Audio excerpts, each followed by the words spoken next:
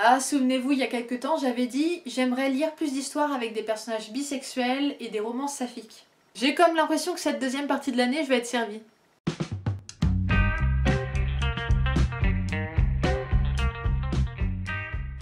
Salut à tous Je ne sais pas vous, mais personnellement, moi pendant l'été, pendant mes vacances, j'ai besoin de lectures légères, d'histoires qui ne me prennent pas la tête. Lors de mon anniversaire, j'ai eu la chance de recevoir beaucoup d'ouvrages qui correspondaient à cette description. Cet été, j'ai besoin de liberté, j'ai besoin d'amour, j'ai besoin de beaux et de bons moments.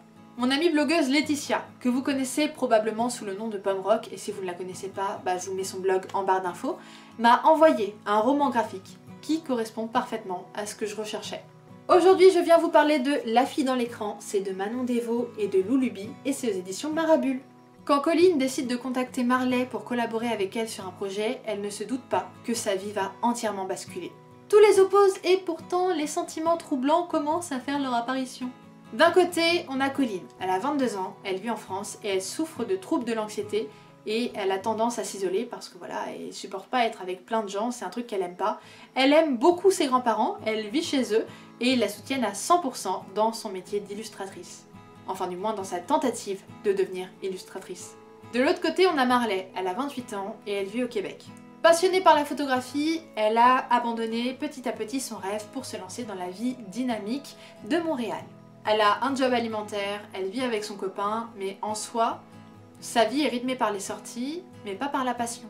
Les messages qu'elles vont s'échanger vont permettre de créer un lien très fort qui ira jusqu'au-delà des frontières.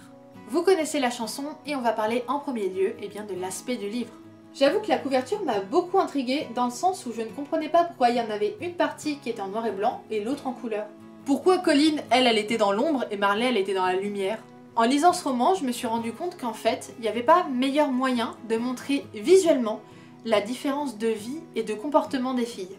L'image annonce clairement les choses, on est sur une petite romance saphique. J'avoue que j'aime vraiment les deux côtés, il n'y en a pas un que je préfère à l'autre, et euh, voilà, je les trouve vraiment trop fous et je suis contente euh, d'avoir ce roman graphique parce qu'il était super bien. Vous l'aurez compris, je suis séduite par le visuel. Par contre, étonnamment, il y a quelque chose dont je ne me doutais pas et pourtant ça semble logique. Je vous montre. Vous voyez, le côté de Marley est coloré, le côté de Colline, il est en noir et blanc. J'avais peur que visuellement, ce soit un aspect qui me dérange, qu'il n'y ait pas de la couleur partout ou que ce soit pas noir et blanc partout. Et étonnamment, j'ai trouvé que ça apportait encore plus de lisibilité à l'histoire. J'ai bien aimé le coup de crayon, il était simple, efficace et travaillé à la fois. Il y a une forme de douceur dans les espaces qui sont créés, comme une safe place. Vraiment, j'ai beaucoup, beaucoup aimé euh, les dessins et l'histoire. L'histoire est... Je vais vous en parler, mais je la trouve géniale. On part probablement sur le moment où vous allez me juger, mais c'est pas grave. C'est mon premier roman graphique français et j'avais des appréhensions. Je m'en cache pas, euh, je lis principalement des ouvrages venant des États-Unis, du Canada, de l'Irlande, de la Grande-Bretagne. Voilà, je suis dans cette zone géographique. Je ne sais pas comment vous expliquer de manière cohérente le blocage que j'ai quand une histoire se déroule en France. Vous vous demandez sûrement pourquoi En fait, c'est assez simple, la France, ça me fait pas rêver.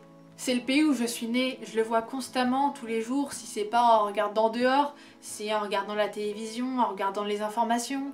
Je n'arrive pas à me projeter dans une histoire qui se passe en France tout simplement parce que c'est un endroit qui ne me fait pas rêver, c'est un pays qui ne me fait pas rêver, j'y vis.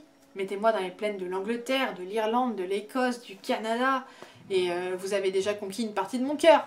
Néanmoins, même si ce roman graphique prend place en France pour une partie, eh bien écoutez, je l'ai quand même apprécié. En fait, je suis partie plus du principe qu'on était face à une ville très dynamique, très colorée avec Montréal, et puis qu'on passait du côté de Colline, qui était euh, un peu plus, disons, à la campagne. C'était une confrontation entre rural et urbain, plus que France-Québec. J'ai apprécié les thèmes qui étaient abordés dans ce roman graphique et je pense que je vais faire un cas par cas, c'est-à-dire vous parler d'abord du côté de Colline, puis du côté de Marley parce qu'elle soulève des sujets qui sont quand même assez différents. Commençons par Colline. Colline, c'est une jeune femme qui souffre de troubles de l'anxiété et j'ai envie de vous dire qu'elle ne peut pas faire autrement vu la pression familiale qu'elle se coltine. Elle a une pression de sa famille, mais elle a aussi une pression de la société. Euh, tu n'arriveras à rien si tu n'as pas tel diplôme, il te faut un métier à avenir, illustratrice c'en est pas un. Sa mère, elle souhaite l'excellence, elle souhaite à sa fille une bonne situation. Mais Colline, tout ce qu'elle veut, c'est vivre de ses dessins, putain Visiblement, ça semble pas très envisageable. On est face à une jeune femme qui est pourtant déterminée, qui est créative, Et malgré le fait qu'elle s'isole énormément et qu'elle a des troubles de l'anxiété qui sont à un stade très avancé, eh bien elle est fonceuse. Elle ne lâche rien, Colline. Je pense que le soutien qu'apportent ses grands-parents, c'est ce qui l'apporte finalement à continuer son rêve. Marley, elle est plus âgée et elle a abandonné totalement l'idée de vivre de sa passion. Elle s'enferme dans un quotidien qui ne la fait clairement pas vibrer. Elle vit certes une vie très dynamique, mais on a l'impression qu'il n'y a pas de saveur. Peut-être que c'est elle qui a le côté le plus coloré, mais euh, la vie de Marley, euh, waouh quoi. Sa relation avec son petit ami, elle est particulièrement mauvaise. Déjà lui, je l'ai détesté du début à la fin. Qu'est-ce que c'est que cette chose? On part clairement sur une histoire toxique qui emmène Marley vers le bas. On est face à un homme qui estime que quoi que fasse Marley, si ça ne va pas dans son sens à lui, elle fait des erreurs. Toute action extérieure à ce qu'il pense lui, c'est malvenu. Comment moi je t'aurais jeté ça dehors? En fait, Marley, elle vit une vie parfaite en image. Mais quand on gratte, euh, c'est vraiment pas terrible ce qu'on trouve. Hein. Grâce à Colline, elle réapprend peu à peu à se reconnecter à elle-même et à se rendre compte que vraiment la vie qu'elle mène, elle est pas ouf quoi. Toutes les deux, elles vont s'aider à s'élever. Pour ce qui est du thème qui lie nos deux personnages, eh bien c'est bien évidemment cette romance saphique. Hein. D'ailleurs depuis tout à l'heure je dis romance saphique, mais je sais pas si ça fonctionne vraiment parce qu'en soi, on ne connaît pas vraiment la sexualité de nos personnages. Ces deux femmes sont attirées l'une par l'autre, mais ça veut pas dire qu'elles sont lesbiennes, elles peuvent être bisexuelles, pansexuelles, enfin... Je sais pas, est-ce que ça marche? Dites-le moi en commentaire. Je, je ne sais pas. Est-ce qu'on appelle ça quand même une romance saphique? Moi en soi, je ne leur donne pas de sexualité, voilà. Parce que je me dis que par exemple, ce n'est pas parce que Marley était avec un homme avant que foncièrement elle est bisexuelle. J'ai beaucoup aimé cette romance parce que pour moi, elle part vraiment tout en douceur et c'est vraiment étape par étape. On n'est pas face à un coup de foudre bien cliché, non, non. La romance prend du temps à se mettre en place. Elle commence en amitié, puis voilà, elle commence à découler vers une histoire d'amour. Il n'y a rien de forcé, tout est naturel et agréable. Les proches de Marley et de Colline réagissent totalement différemment à l'annonce du coup de leur relation. Lorsque certains l'acceptent sans souci, il y a clairement un autre côté où non, non, mais ça ne va pas, ça déshonore la famille, mais enfin, reviens vers la route de la raison. Tu pourras pas avoir d'enfants, tu pourras pas te marier à l'église. Attention, c'est une relation qui ne doit pas voir le jour, elle n'est pas acceptable. Allez, tous ensemble, les mentalités n'ont pas évolué. J'ai apprécié le fait que tout ne soit pas rose parce que c'est le cas des fois, les coming out, bah ça se passe mal. À travers ces annonces, il y a une part de réalité qui est montrée au lecteur, que ça peut très bien se passer, comme ça peut très mal se passer. Mais n'oubliez pas qu'il y a une des deux réactions qui est totalement arriérée. Et je vous aide, je vous donne un indice, c'est ceux qui n'acceptent pas cette relation. Et si jamais vous avez un problème avec le fait que ah deux femmes ensemble, berk, eh ben barrez-vous. Je ne veux pas de vous sur ma chaîne. Je n'arrive pas à choisir ma préférée entre Marley et Colline, je les trouve toutes les deux tellement épatantes. J'aime le côté réservé de Colline et à la fois j'aime le côté enjoué de Marley. J'ai totalement adoré les grands-parents de Colline. Ils sont enjoués, ils sont super positifs, ils sont là pour soutenir leur petite fille, vraiment. On adore les grands-parents comme ça. Je pense que vous avez compris que j'ai détesté le petit ami de Marley, hein, qui est totalement égoïste. Limite, il l'aurait dessiné en train de taper dans un mur et en lui disant « C'est toi qui me fais faire ça !» que ça m'aurait même pas choqué. Parce que clairement, ce mec est un cliché d'intolérance incroyable. Il n'a pas d'inquiétude sur lui-même, il a toujours raison. Le problème c'est Marley.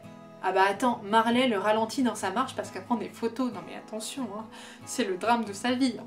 Je vous le dis, Marley ne va pas dans son sens. Ah bah, c'est Marley le problème. C'est Marley qui dérange. C'est vraiment, faut qu'elle se remette en question. Hein. Je l'ai haï du début à la fin. Je ne l'ai jamais aimé. Je vais faire un petit disclaimer quand même. Je ne conseille pas ce roman graphique avant au moins le lycée parce qu'il y a quelques petites scènes sexuelles et donc par conséquent, je ne vois pas ça dans les collèges. Ça va, au lycée, ils découvrent leur corps, ils découvrent la sexualité, donc logiquement, ça devrait pas trop les choquer. Je préfère prévenir parce que je sais qu'il y a des jeunes qui regardent mes vidéos et je sais également qu'il y a des parents qui cherchent des fois des cadeaux pour leurs enfants et qui se disent tiens ça ça serait une bonne idée. Oui mais attention. J'ai beaucoup aimé ce roman graphique qui était vraiment léger et intéressant. Enfin léger. Il pèse son petit poids. Hein. Même si on se doute de la fin, les personnages sont attachants, l'histoire elle est bien ficelée, elle prend son temps mais c'est le temps qu'il faut. Donc du coup si vous cherchez une petite histoire d'amour bien sympathique, française, eh bien la fille dans l'écran en tout cas, merci d'avoir regardé cette vidéo. Si elle t'a plu, n'hésite pas à la liker, à la commenter, à la partager à tes amis, à t'abonner, ça fait toujours plaisir. Et je te dis à bientôt dans une prochaine vidéo. Salut